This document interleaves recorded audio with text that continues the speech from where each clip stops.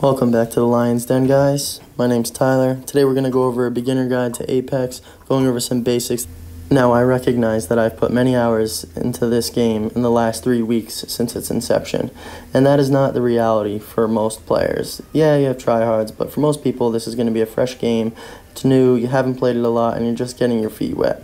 This video is for you. It's aimed to help you learn the basics so you can start to see those champion screens. Now, the first mechanic I want to tackle is the smart ping system. Essentially, if you think you can ping an item in this game, then you can. The game's intuitive enough to realize that you're pinging a gun, ammo, shield, supplies, and so on.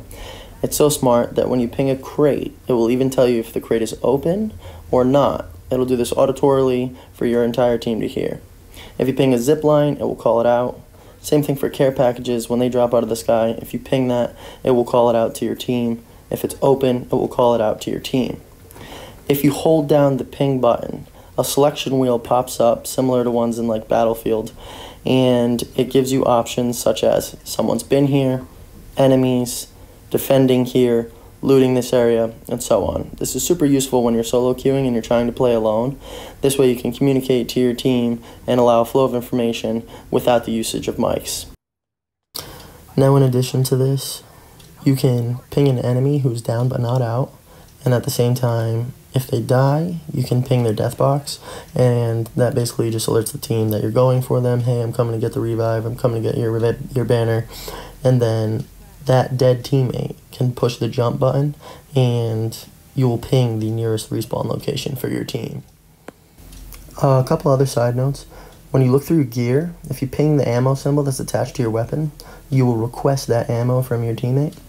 And if you need a backpack, helmet, anything like that, just ping that empty slot on your menu and you'll request it from your team. Now, as a bonus tip, when you ping a location, it will show you the distance in meters. Now you can use that ping to gauge bullet drop if you're using a sniper rifle or you're shooting at distance. When you ping, look at how far it is and then gauge that on where you need to lead your enemy and how high you need to adjust with. Next thing I want to talk about is going to be the loot. So the levels to loot are white being lowest, blue is mid tier, purple is high tier, and gold is legendary. Now you should take note that gold and purple do the same amount of whatever item it is. So the gold backpack carries the same amount as the purple. The gold shield gives you the same amount of shield as the purple. But the gold has a extra perk available with it. So the gold shield automatically replenishes its shield when you finish an execution, whereas the purple shield still requires you to use the shield cells or shield batteries. This said, the game is smart enough to not let you downgrade to lower loot.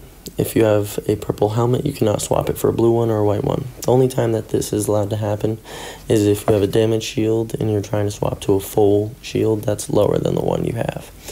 Secondly, the game auto-equips any relevant attachments to any guns that you have.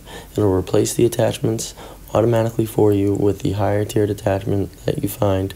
You can store extras in your bag for yourself or for your friend or later in the game. If you're trying to pick up a sniper scope and you don't have a sniper yet, keep it in your pocket. That's great. When dealing with your sights, just simply highlight the sight on your gun and tap X or the action button, and that will swap sights between weapons for you automatically. And then you don't have to worry about that at all. Um, and then Lastly, when you come across those gold colored boxes, those gold colored death boxes, a couple things you need to know. Obviously, you want to rush them, you want to find that gold piece they have in there.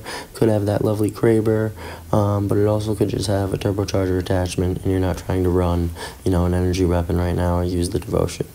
Meanwhile, you have a white box laying on the ground that could have 300 rounds of heavy ammo, three grenades, four thermite grenades, two arc stars, and something that you could use but you don't go over to that crate first because it's white.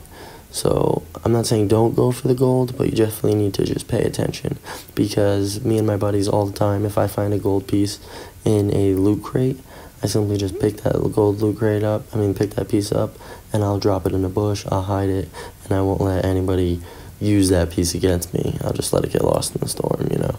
And the last thing is that all of the loot boxes that you find in the game are always categorized guns, ammo, attachments, gear, and equipment top down in that order. Um, But thanks for watching, guys. I really appreciate the views. Um, hope you guys are enjoying the content. Let me know what you like or don't like in the comments, and have a great day.